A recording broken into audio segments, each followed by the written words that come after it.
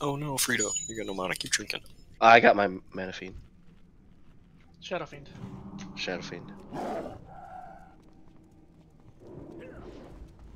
I went a little farther back so that way you had a little bit more time to drink. I'm convinced that some holy priests don't know how to use it properly. Because it gives you 100% mana. If you use it at the right time, it doesn't die.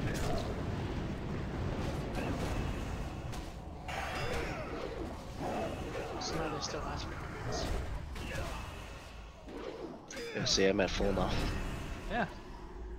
It's the best spell in the game. But if you use it at the wrong time of a fight and it dies early, like Oh, it's worthless then. Oh, I got innervate from Shotty. Especially if you're oh, banking on Shawnee, it. shh,